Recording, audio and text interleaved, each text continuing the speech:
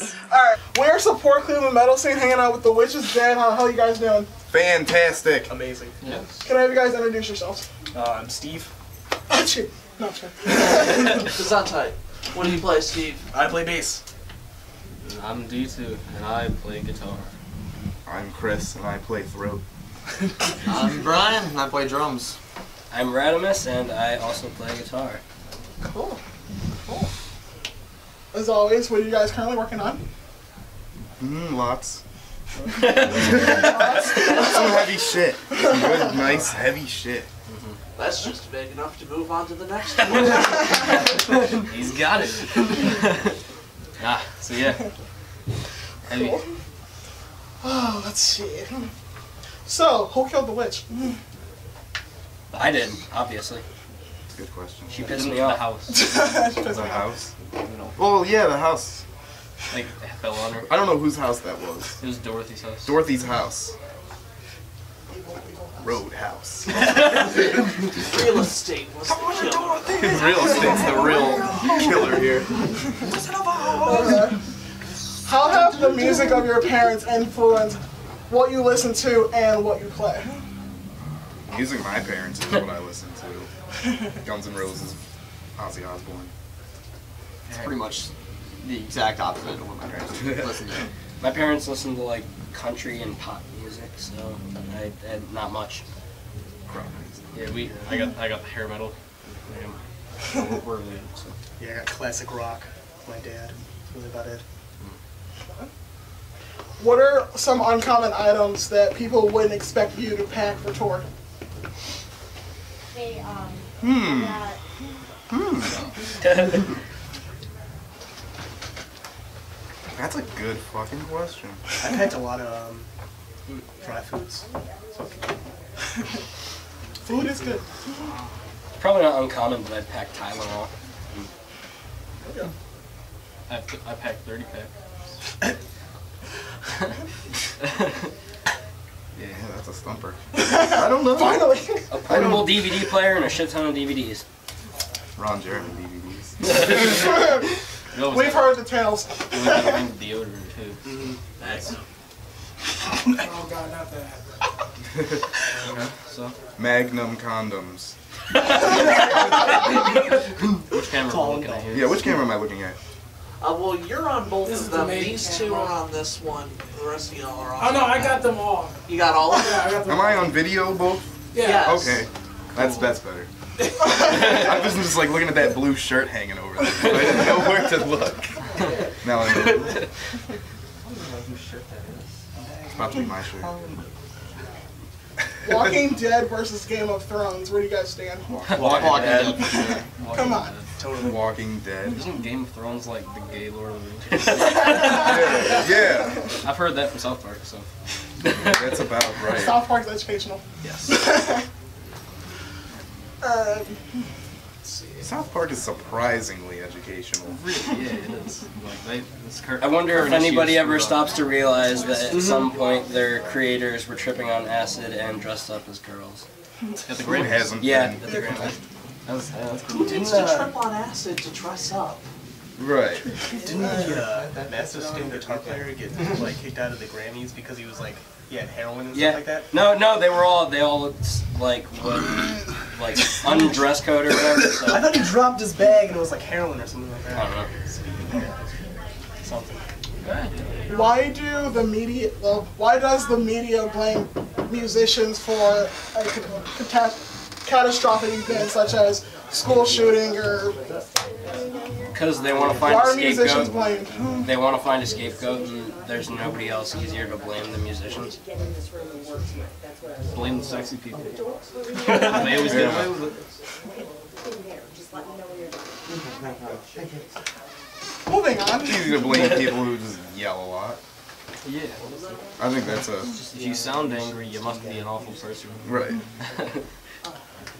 Should parents govern what their children listen to? No, Definitely not. not. Yes, up to a certain age. Up, up to a Really? certain age, yeah. I mean, Yeah. yeah. You don't want a Some- three, you don't want a three-year-old listening to I Love to Say Fuck. I feel I feel, I feel like if it's if it depends because if there's there's this band called the Mentors, that literally they sing about actually raping people, which that, that that's Oh, that cool. pretty pretty. Fu- I would t- I would never let my if I had kids I would never let them listen to that shit. But I mean, if it didn't go to that extreme, then I, I really wouldn't care. And no Kenny G. I don't want to hear that.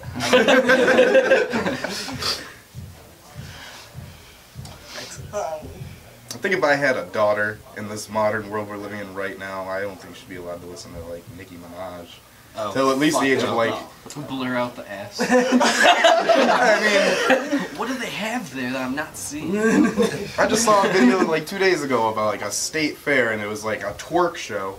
And then the oh camera panned over and the audience was nothing but like 10 year old kids. Oh, oh, that's sad. Yeah. Well, when you have shows like 15 and Pregnant, it's like, it's bound to happen. It's sad. Started at 17. Because you know, M- MTV pretty much sold out at this point. So At this point, I mean, well, you, you know, it's been a while. yeah. Been a while. what are your thoughts on mainstream stores selling local music? They should. Should They should. Yeah, they should. Should happen a lot more. I, I have I have yet to see that.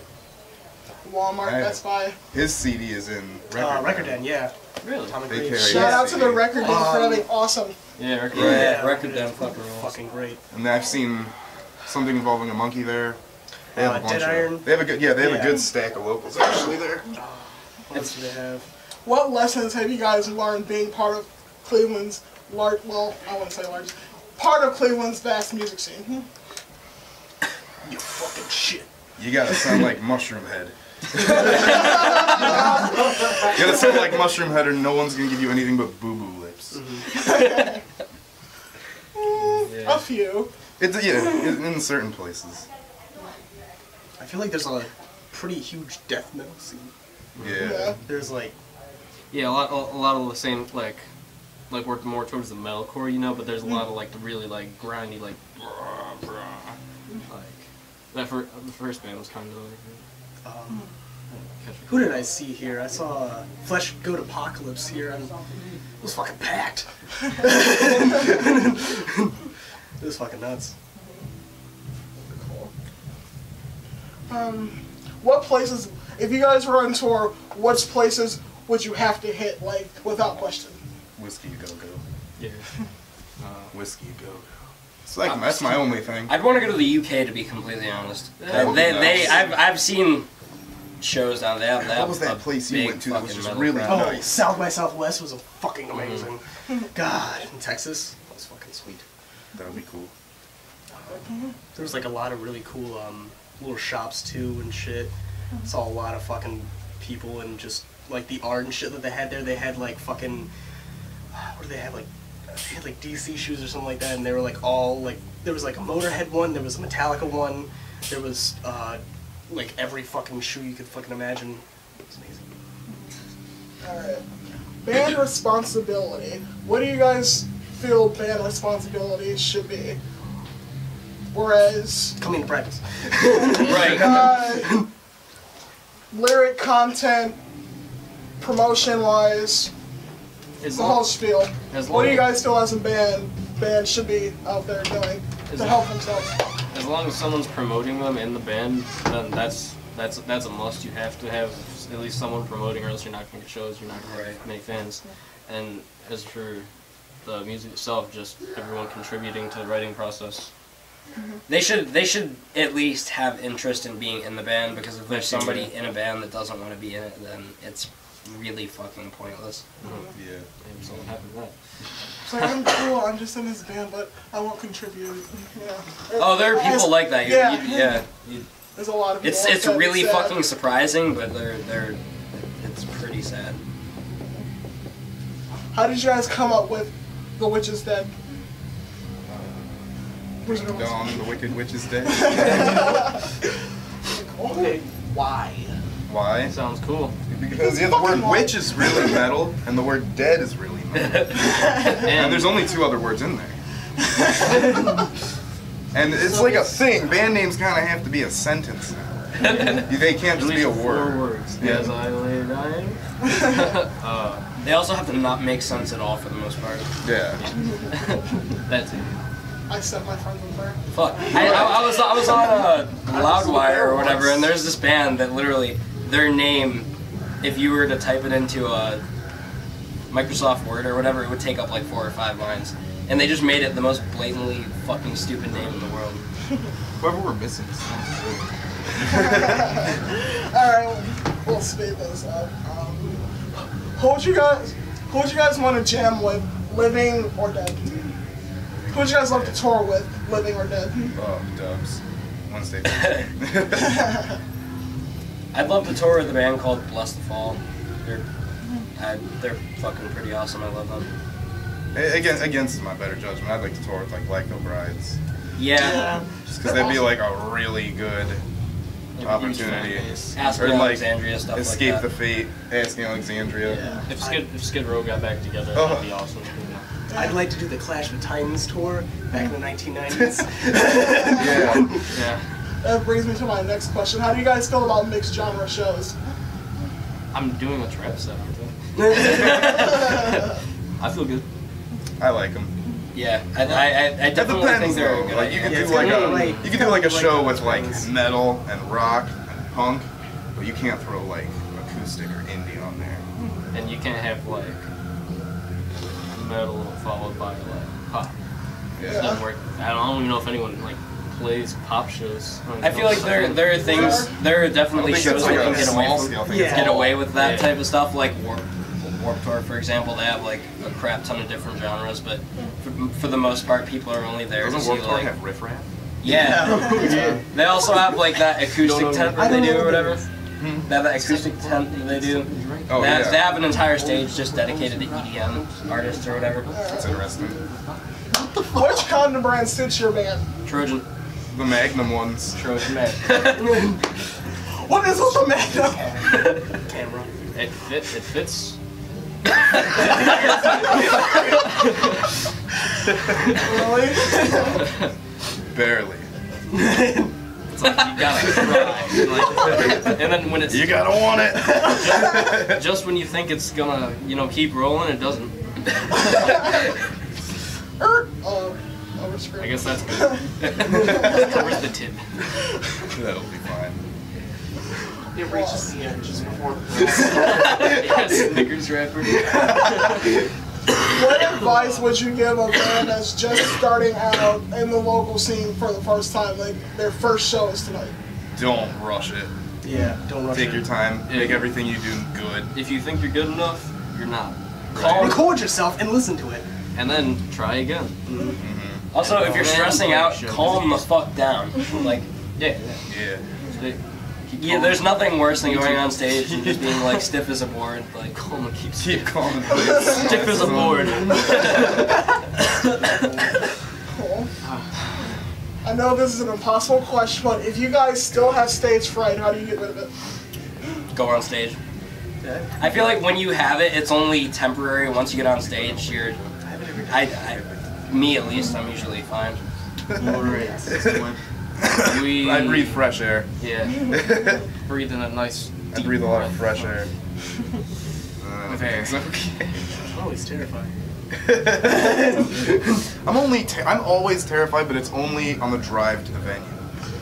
And then I get there and I'm fine, but I'm always like I'm always excited. at the heebie-jeebies. I'm always excited during the drive to the venue, and then I like kind of get like a knot in my stomach right before we're about to play, and then I feel fine. Like, I always have to piss right before.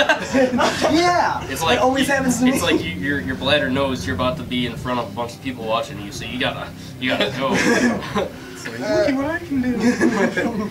All right, last question. What does fan appreciation mean to you guys? Like, how would you guys feel if a fan got your lyrics tattooed on them, or your face, or some, something, something about your life was tattooed on them? How would you guys? How would that, make you guys feel? That would be the best Yeah, feeling. yeah. I'll be I feel pretty good. honest. yeah, Uh, great.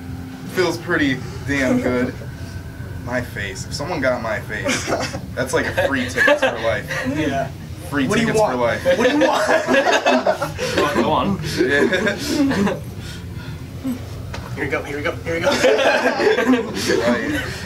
I know you guys have tattoos of bands. What are some of the bands that help influence your creativity? Megadeth. Your arms tell the story. Yeah, Misfits, Wednesday 13, Marilyn Manson, Guns N' Roses. Alice Cooper, of course, Guns N' Guns N' Roses too. Roses. Skid Row again. Motley Crue, of course. Slipknot Ratt. for me at Ratt. least. Ratt. Ratt's fucking good. Yeah. The 90s. Yeah. 90s. And then Kris Kross. Just Yeah. cross will make you jump, jump. Yeah, Marky Mark. And the Funky Bunch, yeah. Yeah. Yeah! go. Come on, come on. Feel it, feel it. feel the vibration. Just, just, uh, would you, would you guys like to give a shout out to any other local band or national band or family or friends? Oh, I feel like I really, really should, but I'm gonna drop the ball here. AOT Dead Iron. Um, they're actually playing at the uh, Agora right now for their release party. Um, they're Woo! also going to be playing in um, the, for the Wacken uh, uh, festival in Germany. I can't believe they're doing that. Somebody else. Um, AOT's playing with us. They just got like some kind of signed record deal or something like that. Uh, they also got a bass player and a new um, bass drop player, sampler DJ thing. I don't know. Um, but what else? Uh, what are the bands? Atomic Grave, Steve. Oh yeah. Atomic Grave and Among the Broken Among the Broken. are really yeah. good. Uh huh. And who else here? I'll say everyone here because they deserve it. And I don't want to fuck this up. Slaughter in the Meridian, Toxic Taco, Mechanical Avalanche, uh, Disgraced, Advance on, I can't fucking pronounce the name. I think it's, I think it's Thermopylae. Thermopylae, Because it's got an AE in it. I think it's and then It's great. D2 King Kai the Highest, The Witch is Dead. Oh, what was that band that just got in it? As Dark as Days? Uh, As dark as day. As Dark as Day. Yeah. Singular, okay. Very great. Yeah, they were fucking good. I was surprised. And Disgrace, they're awesome. Disgraced. They were really cool. I know a couple. of Beside the out-of-town silence, even though they're not here. I like watching them a lot. Yeah. I was I was so bummed when I found out their singer and their bass player left. I was just, uh, Their singer was fucking good too. yeah. Yeah, change, change, change can go either way, up and down. Hopefully, there's more right now. Darren singing though, because uh, Darren has a beautiful voice. Hmm. That's right. We love you guys, of course. Second time seeing you guys, we're excited. Just that's the first time, like, fuck yeah. Thank you guys for doing this. You know, we love you guys. We love seeing you guys all the time. Thank you guys for doing. Thank you guys. You guys are awesome. We're support Cleveland Metal Scene hanging out with the Witch is Dead. Check them out on Every damn Facebook. Feels like stunned. check, Check us out on stage. Check us out. check us out at the beach. over there. over there. I mean, I'm pretty sure the only thing we have as of right now is a Facebook page. So And these we have we have looks. a YouTube page, but Check us out with these dashing. it's it's still Bloodsuckers Anonymous. So I mean, if you look up Bloodsuckers, I have a lot of Anonymous, you click on contacts in that email. I don't want to start a new one. It's yeah, it makes it hard. So Trojans. Trojan makes it very hard. very. Alrighty. We can't thank you guys enough. Thank you. You guys deserve this. We wish we could do a lot more for you, and we will. Are we still going As soon as we're awesome. Yeah. Okay, tell me right before we stop. Is that now? And I want Yeah. the video to end with me dropping my can. Okay, go ahead.